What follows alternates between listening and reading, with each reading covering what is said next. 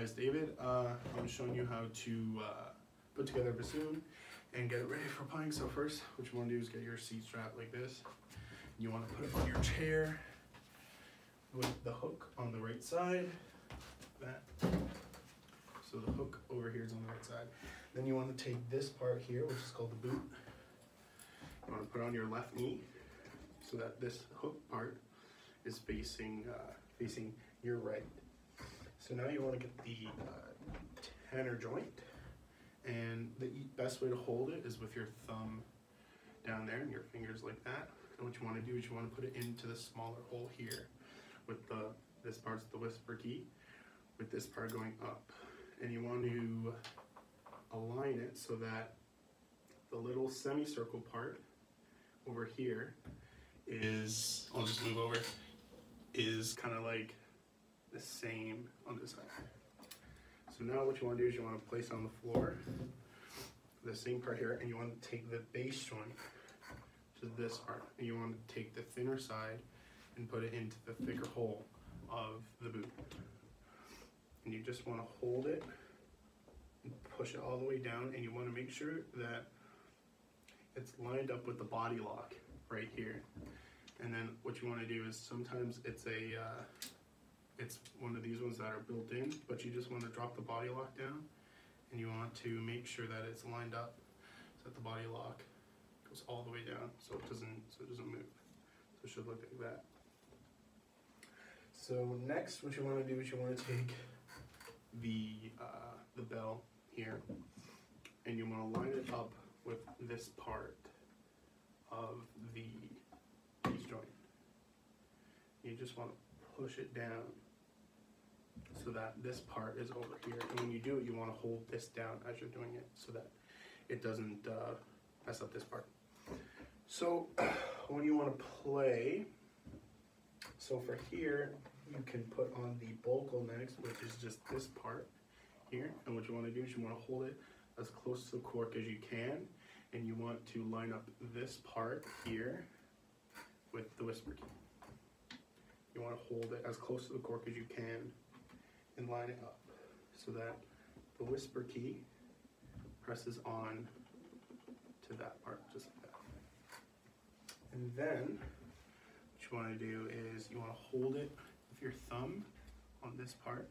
You want to lift it up and lock it into your your lock. It's just uh, you just push it in, and then depending on where the bocal is, that's where you uh, you would have to adjust it by sliding uh, sliding your seat strap.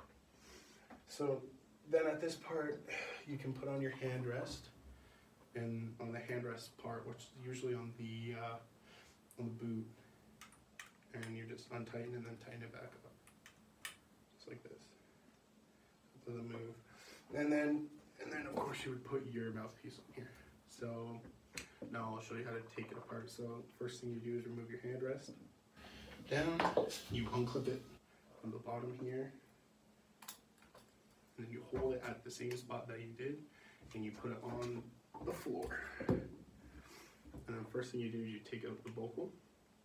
And if you've been playing for a bit, you'd want to hold it down and blow, just like that, and all the spit come out of the bocal, which is very important because you don't want mold on the bocal. The next part you take off the belt over here, kind of the same way that you did before.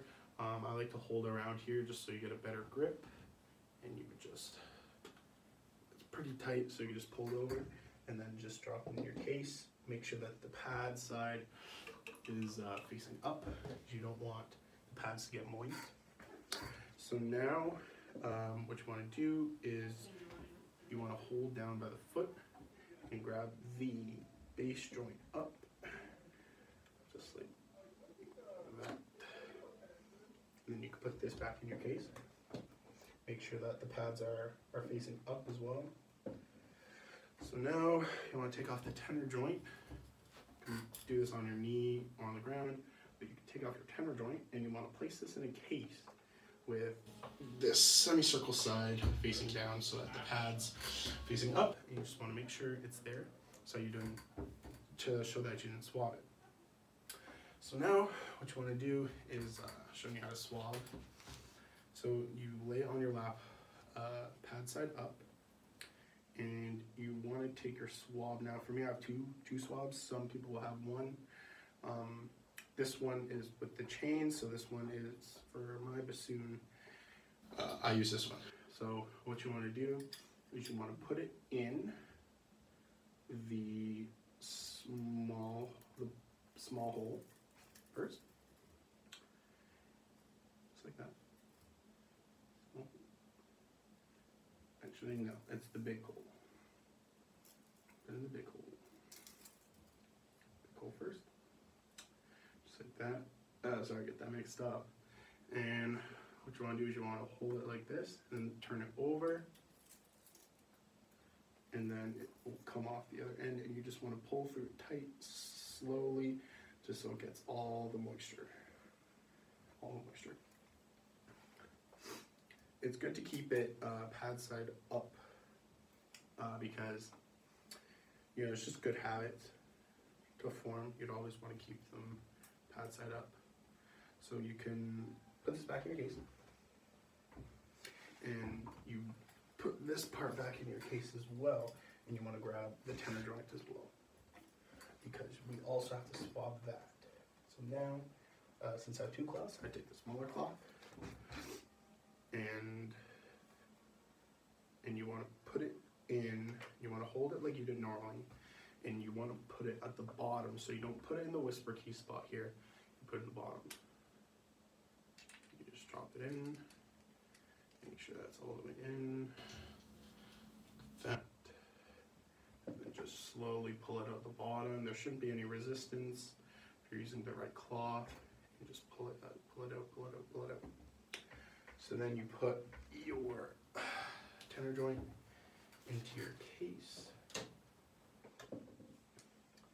Just like that. And then you wrap up your cloth. Put it in your case, and then you take the seat strap off and you roll it up. You put that in your case, and that's pretty much it uh, for assembling the bassoon, disassembling it, and swallowing it.